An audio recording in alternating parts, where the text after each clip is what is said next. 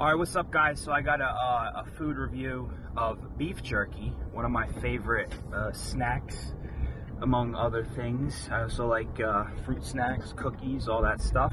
But beef jerky's healthy, so that's why I'm doing a beef jerky review. It's a cold February morning. Um, I wish I was in someplace warm, but I'm not.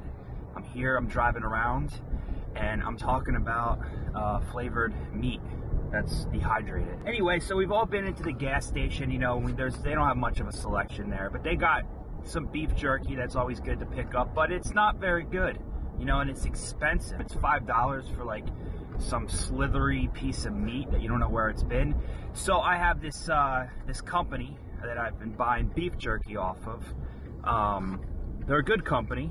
I'm not being paid to endorse them or anything. I just am a big fan of their beef jerky.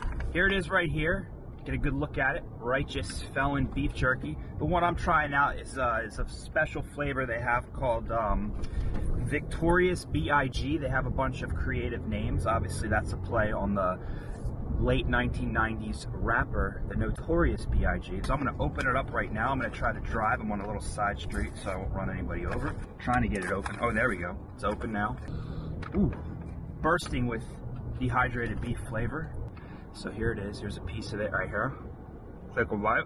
First thing off the bat, this has tons of flavor. Doesn't have that tang that you usually get with like a Slim Jim, where you kind of question what it is you're eating. Like I know that this is beef. I don't know what kind of beef, but I actually know at some point this was a cow. So try to bite. Mm. Very good. Very good healthy snack beef jerky is a very healthy snack. I'm actually driving right now to work out. I pay this guy to make me work out. And that's where I'm going right now. So it's a good protein snack to get some energy. You can see the little seasoning and stuff on it. I don't know how they make this stuff. A little chewy, but all beef jerky is chewy. Have another bite. Very, very impressed with this quality of beef jerky. I can no longer go into gas stations and buy that shit they got on the shelves because it's awful. Buying your beef jerky off of one of these small mom and pop beef jerky making operations because it's a lot better than what you get in stores. So, in final, my review, this is very good stuff. I'm gonna order some more. I don't know where you can get it. I think you can get it online. Or call the company up, Righteous Felon. Try some more flavors.